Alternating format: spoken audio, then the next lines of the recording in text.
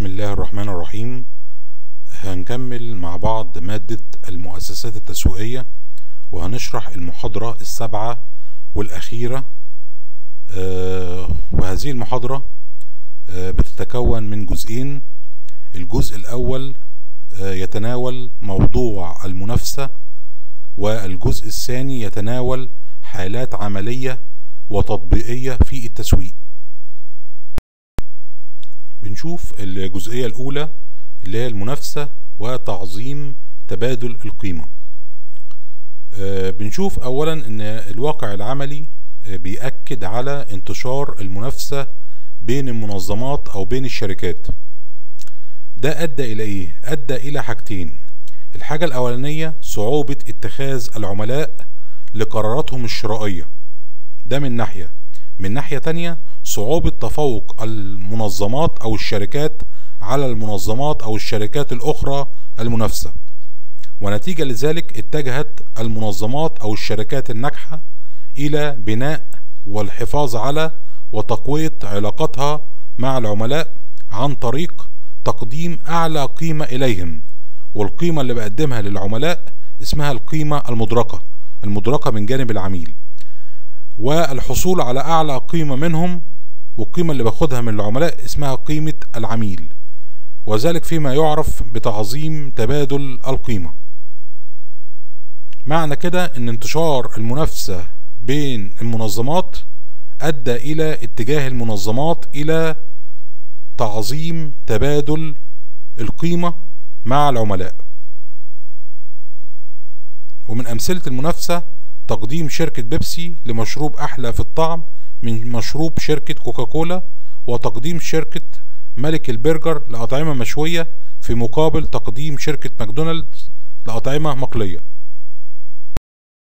بنشوف هنا خطوات مواجهة المنافسين وساعات بنسميها خطوات تحليل المنافسين. الخطوة الأولى اللي هي تعريف المنافسين آه، ففي عندنا هنا منظور ضيق للمنافسة وعندنا منظور واسع للمنافسة.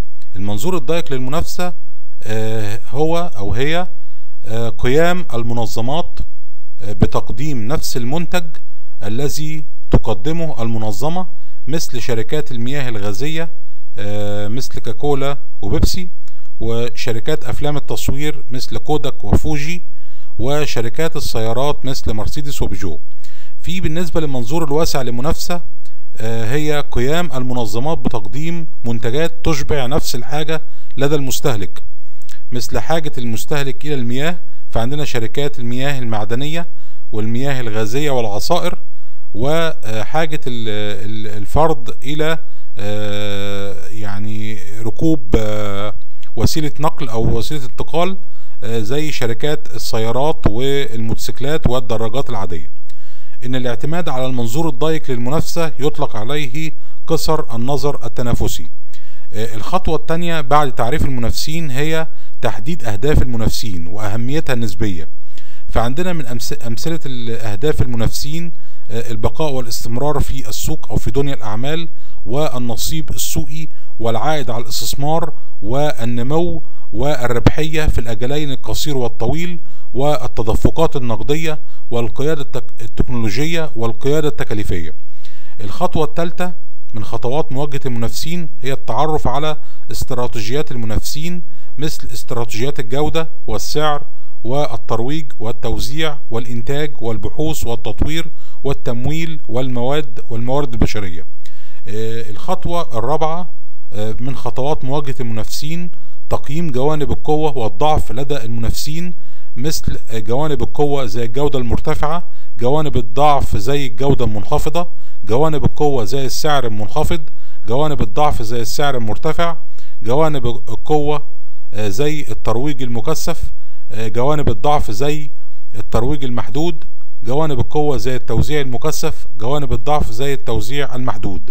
الخطوة الخامسة من خطوات مواجهة المنافسين هي التنبؤ بردود أفعال المنافسين فمثلا المنافس الكبير يكون رد فعله سريع وقوي ولا يسمح بدخول منتجات منافسة إلى السوق. آه، الخطوة الأخيرة تحديد موقف الشركة من المنافسين وهو إما المواجهة وإما التجنب. بننتقل هنا لأنواع المنافسين. فعندنا المنافسين بينقسموا إلى أربع مجموعات. المجموعة الأولى اللي هم القادة وبنقول عليهم اللي هم الليدرز اللي هم القادة. وهي وهم الشركات المستحوذة على أكبر نصيب سوقي والذي قد يصل إلى 40% من حجم السوق الكلي. والمقصود بكلمة حجم السوق الكلي اللي هو مبيعات مبيعات الصناعة مبيعات الصناعة.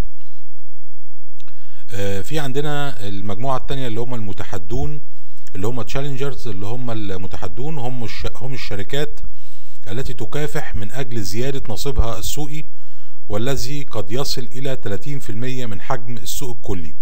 في بعد كده عندنا المجموعة الثالثة اللي هم التابعون اللي هم ال followers اللي هم هم الشركات التي تحاول الحفاظ على نصيبها السوقي والذي قد يصل إلى 20% من حجم السوق الكلي. في بعد كده اللي هم المتجنبون اللي هم نيتشرز هم الشركات التي تعمل على خدمة قطاعات سوقية مهملة في الصناعة وقد يصل نصيبها السوقي إلى 10% من حجم السوق الكلي. طبعا إحنا هنا لو افترضنا إن السوق الكلي أو اللي هو مبيعات الصناعة 100% هنفترض إن مبيعات الصناعة 100% اللي هي عبارة عن تورتة كبيرة كاملة كويس فهنا القادة بتستحوذ على 40% من هذه المبيعات أو من هذه التورتة. في بعد كده المتحدون بي بيستحوذوا على 30% من هذه التورتة أو من من مبيعات الصناعة. في التابع التابعون بيستحوذوا على حوالي 20% من مبيعات الصناعة أو من هذه التورتة. وفي برضك المتجنبون بيسي بيسيطروا أو بيستحوذوا على 10% من إيه؟ من هذه التورتة أو من مبيعات الصناعة. شوف بعد كده استراتيجيات المنافسة. نبدأ باستراتيجيات القادة. وبنقول إن استراتيجيات القادة بتنقسم إلى مجموعتين. في استراتيجيات تهدف إلى زيادة النصيب السوقي للشركة وفي استراتيجيات بتهدف إلى الحفاظ على النصيب السوقي للشركة. بالنسبة لاستراتيجيات زيادة النصيب السوقي للشركة أو الاستراتيجية اللي هي زيادة عدد المستخدمين أو زيادة عدد العملاء مثل الترويج لشامبو الأطفال Johnson and Johnson. إلى كبار السن ذوي الشعر الخفيف والمعرضين للصلع آه الاستراتيجية الثانية من استراتيجيات زيادة النصيب السوقي اللي هي زيادة الاستخدامات أو زيادة استخدامات المنتج مثل استخدام النايلون في صناعة الباراشوتات في البداية ثم استخدامه في صناعة القمصان والجوارب والستائر والسجاد والإطارات. وأيضا استخدام كربونات الصوديوم في صناعة المخبوزات في البداية ثم استخدامها في امتصاص الروائح الكريهة في الثلاجات وصناديق القمامة والحمامات. الاستراتيجية الثالثة من استراتيجيات زيادة النصيب السوقي اللي هي زيادة معدل استخدام المنتج مثل تشجيع تناول الشوربة في جميع الوجبات وليس في الغداء فقط. بالنسبة لاستراتيجيات الحفاظ على النصيب السوقي للشركة أول استراتيجية تدعيم نقاط القوة لدى الشركة عن طريق الابتكار والتطوير المستمر في المنتجات مثل قيام شركة سوني بتقديم موديلات متطورة للمنتجات الإلكترونية باستمرار. آه كذلك آه بردك آه علاج نقاط الضعف لدى المنافسين مثل دخول السيارات اليابانية الصغيرة في الحجم والموفرة في استهلاك الوقود لمواجهة السيارات الأمريكية الكبيرة في الحجم وعالية الاستهلاك للوقود. في بعد كده استراتيجية أخرى اللي هي توسيع مجال نشاط الشركة مثل توسيع مجال نشاط شركة أرمسترونج لتصبح تغطية وتزيين الحجرات اللي هي الأسقف والحوائط والأرضيات بدلا من تغطية الأرضيات فقط. كذلك آخر استراتيجية في استراتيجيات الحفاظ على النصيب السوقي اللي هي الانسحاب من القطاعات السوقية غير المربحة. المجموعة الثانية من الاستراتيجيات اللي هي استراتيجيات المتحدين أول استراتيجية اللي هي هجوم المواجهة الأمامية ومعناها قيام الشركة المتحدية بمهاجمة الشركة القائدة في كل نقاط القوة والضعف في كل نقاط القوة والضعف. بتقليد نقاط القوة وعلاج نقاط الضعف. ولكن على سبيل المثال الشركة القائدة إذا كانت بتتمتع بجودة عالية أنا أعمل زيها كشركة متحدية أعمل إيه؟ إن أنا أقدم جودة عالية أيضا. يبقى ده دي نقاط قوة بقلد نقاط القوة. جودة عالية قصاد جودة عالية. طيب بالنسبة لنقاط الضعف لو فرض إن الشركة قائده أسعارها مرتفعة أحاول إن أنا أعالج نقاط الضعف دي وإن أنا ممكن أقدم المنتج بتاعي بسعر أقل أو بسعر منخفض. فدي كده علاج نقاط الضعف لدى إيه؟ الشركة القائدة. وتقليد نقاط القوة لدى الشركة القائدة. في بعد كده هجوم متعدد الجوانب اللي هو قيام الشركة المتحدية بمهاجمة الشركة القائدة في عدد من نقاط القوة والضعف. في بعد كده هجوم الج- الجوانب الضعيفة وهو قيام الشركة المتحدية بمهاجمة الشركة القائدة في الجوانب الضعيفة فقط مثل تقديم ماركة ذات سعر منخفض لمواجهة ماركة ذات سعر مرتفع. في بعد كده هجوم التجنب وهو قيام الشركة المتحدية بمهاجمة الشركة القائدة عن طريق خدمة قطاعات لا تخدمها الشركة القائدة. آه، مثل قيام شركة الطيران Southwest Airlines بخدمة مناطق لا تخدمها شركة الطيران American Airlines في بعد كده هجوم العصابات وهو قيام الشركة المتحدية بمهاجمة الشركة القائدة عن طريق توجيه حملات ترويجية مكثفة خلال فترة زمنية معينة مثل حملات شركات إنتاج الآيس كريم في شهور الصيف. المجموعة الثالثة من الاستراتيجيات اللي هي استراتيجيات التابعين أو استراتيجيات الشركات التابعة.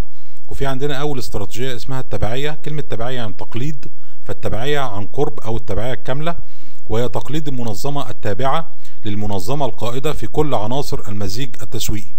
آه، الاستراتيجية الثانية اللي هي التبعية أو التقليد عن بعد أو التبعية الاختيارية وهي تقليد المنظمة التابعة للمنظمة القائدة في بعض عناصر المزيج التسويقي. المجموعة الرابعة من الاستراتيجيات اللي هي استراتيجيات المتجنبين أو آه، استراتيجيات الشركات المتجنبة. فهنا بيقوم المتجنبين أو الشركات المتجنبة بالتخصص في خدمة قطاعات سوقية مهملة على الأس الآتية أول حاجة أساس حجم العميل فعندنا على سبيل المثال تقديم الخدمات الاستشارية القانونية أو المحاسبية أو الهندسية لكبار العملاء. حسب آه، بردك الأساس الثاني من أسس التخصص أو التجنب نوع العميل مثل التخصص للبيع لتجار الجملة أو البيع لتجار التجزئة أو البيع للمستهلك النهائي. في أساس ثالث للتخصص أو أو التجنب اللي هو أحد أجزاء المنتج مثل تخصص شركة لوجيتك في إنتاج بعض الأجهزة الملحقة بالكمبيوتر مثل الفارة اللي هي الماوس ولوحة المفاتيح اللي هي keyboard وكاميرا الفيديو اللي هي PC video camera وأداة التحكم في الألعاب اللي هي games controller آه، والتي تضاعفت إيراداتها وأرباحها في السنوات الأخيرة. في بعد كده الأساس الرابع اللي هو أحد عناصر المزيج التسويقي مثل التخصص في تقديم منتجات بجودة عالية أو بسعر أقل. الأساس الخامس اللي هو أحد مراحل الإنتاج والتسويق مثل التخصص في حلج القطن أو الغزل والنسيج أو صناعة الملابس في التخصص الجغرافي مثل العمل على المستوى العالمي أو الإقليمي أو المحلي. هنا بننتقل للجزء الثاني من المحاضرة اللي هو آه، الحالات العملية والتطبيقية في التسويق. فهنا عندنا حالة آه، بتتكلم على آه، دور الابتكار في مجال المنتج وتأثيره على الأداء التسويقي للشركة. فهنا آه، في عندنا حالة أو شركة اسمها سور آه، كانت في شركة اسمها سور. الشركة دي كانت بتنتج آه، جوارب آه، رياضية أو شرابات رياضية وكانت بتعاني من عدة مشاكل. المشكلة الأولى هي هبوط شديد في أرقام المبيعات والحصة السوقية. المشكلة التانية إن الجوارب اللي بتنتجها الشركة كانت تنزلق أو بتتزحلق من على أرجل اللاعبين أثناء اللعب. الحاجة التالتة إن اللاعبين اللي هم كانوا بيستخدموا آه، جو- الجوارب اللي بتنتجها الشركة كانوا بيعانوا من تسلخات والتصاقات بالأصابع.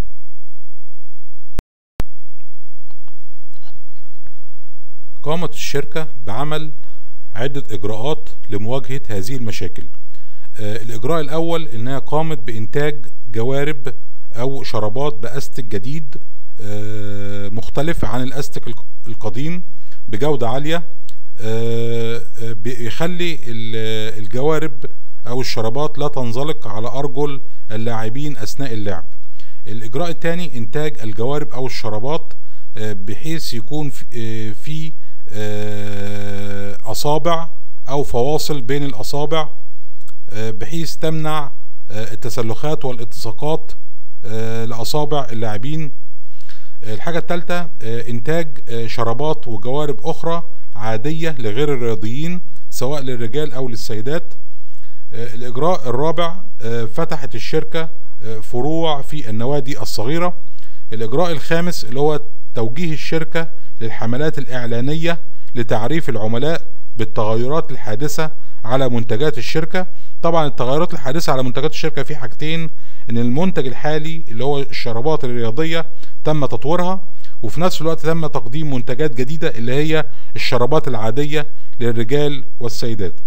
الإجراء اللي هو السادس والأخير تسعير المنتجات وفقا لقدرة العميل على الدفع وطبعا نتيجة لهذه المجهودات ارتفعت قيمة مبيعات الشركة من 30 مليون دولار إلى 150 مليون دولار خلال ثلاث أعوام طبعا نستفيد من الحالة العملية دي إن هنا الابتكار في المنتج إن الشركة هنا ابتكرت وطورت المنتج الحالي وفي نفس الوقت أنتجت منتجات جديدة فطبعا كان ده ليه تأثير جوهري وقوي على الأداء التسويقي للشركة اللي إحنا بنعبر عن أداء التسويق ده بأرقام المبيعات وفعلا زادت أرقام مبيعات الشركة انتقلت من 30 مليون دولار إلى 150 مليون دولار خلال ثلاث سنوات.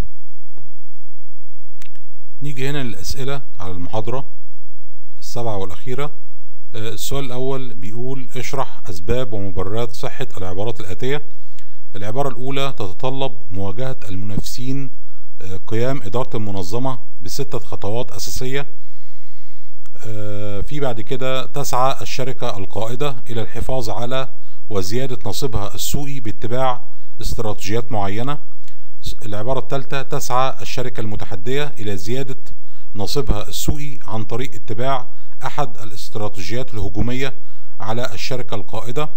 السؤال الثاني اشرح حالة عملية توضح تأثير الابتكار في المنتج على الأداء التسويقي للمنظمه وهنا طبعا الحالة بتاعت شركة سور لإنتاج الجوارب أو الشرابات الرياضية. وبكده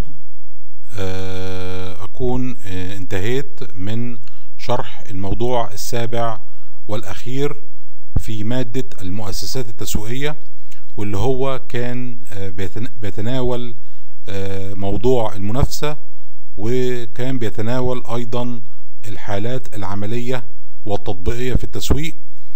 مع تمنياتي لكم بالتوفيق والنجاح والتفوق بإذن الله. دكتور محمد بركات.